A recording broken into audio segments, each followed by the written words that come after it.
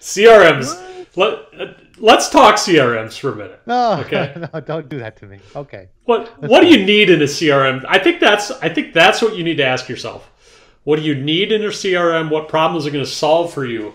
Right? Well, the the biggest problem that I did not know about follow up boss, right? So I was always looking for something. I mean, we know that we can manage our intake um, fairly well inside LG Pass. Now you add a little process modo to that, and uh, you add a Google Drive, and you really you've cinched down and an Airtable. So if you've got an Airtable, a process modo, a Google Drive, right, an LG Pass, your intake is going to be rock solid. You've got the makings of a nice system. So, but on the flip side, um, Airtable works good on the sell side, but the follow-up boss, which I know um, you, you could speak to that, boss, but that's that's a game changer when that came around. Because prior to that, I was trying to find ways to integrate phone numbers into Pipedrive. It can be done. I know some of you out there, yes, you can use JustCall and RingCentral, but it's not native to Pipedrive. It's not native to whatever you do.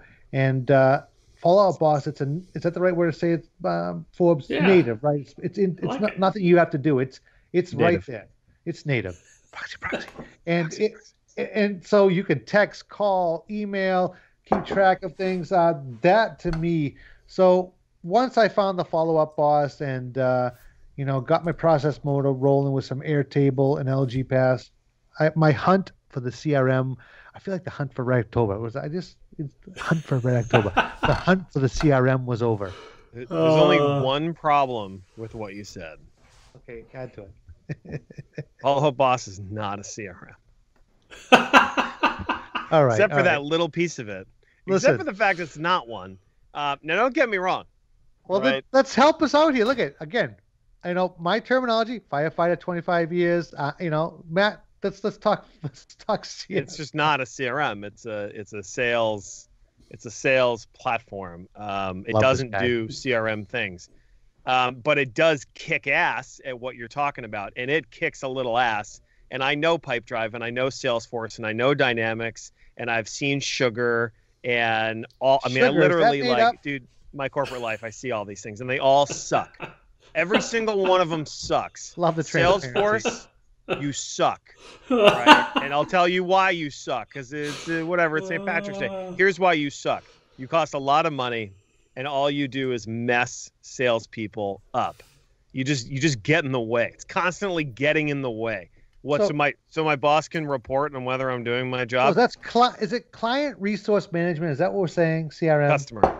customer. All right, whatever. So how, how does how does that differ? Educate me and the rest of us from follow up boss, where I, I feel like I'm managing my customers, but is that not the right way to look at it? It no follow boss is a contact is a contact management solution. Contact. Okay. I can I can email, I can text, I can do it all in there.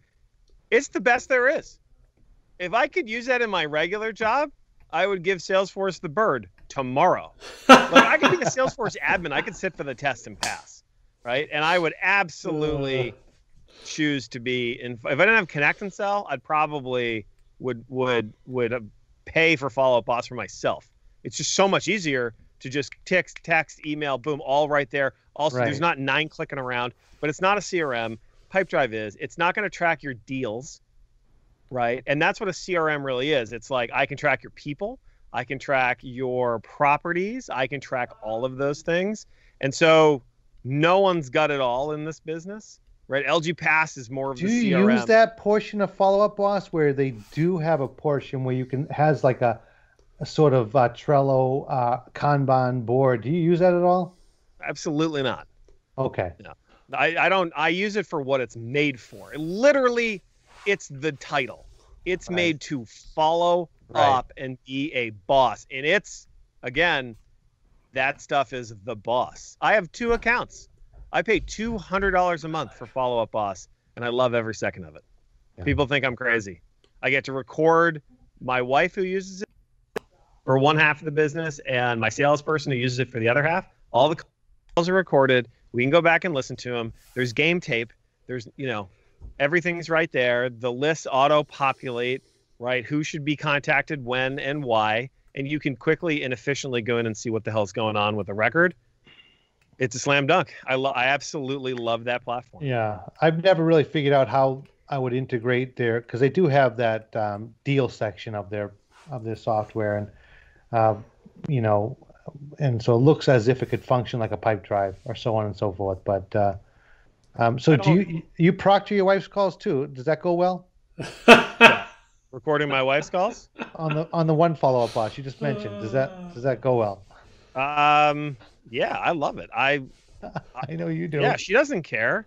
Look, she knows she's being recorded. Look, here's the funny thing: like everyone gets all panicked about being recorded. Right. You just stop caring. It's game tape. MJ doesn't go practice and then not watch himself.